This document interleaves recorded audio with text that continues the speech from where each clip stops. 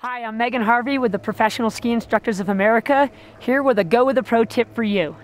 If you've ever taken a fall on steep terrain or in deep snow and you've lost your skis, you might think it's pretty hard to get them back on. Today, we're gonna make that easier for you. If you've lost both skis on a steep groomed slope, it can be a little tricky to get your skis back on.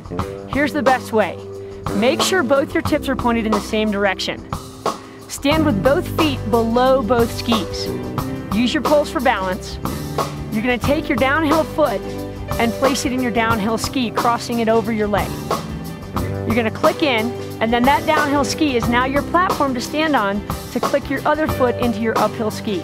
Once you've clicked in, look uphill for safety and you're good to go. If you've lost both your skis in powder, you're gonna need to pack out a little place for yourself to stand in.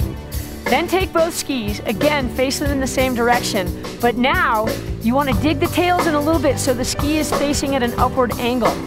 You're gonna, again, stand below both your skis. Before you step into either ski, make sure your boot is clear of snow.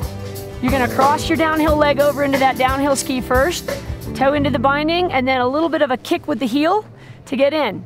Once you've got that downhill ski on, pack out a platform for yourself Put the uphill ski in with the tail into the snow, and then you're gonna do the same thing there. Put your toe in and then give it a little kick to get the heel in, and then you're good to go.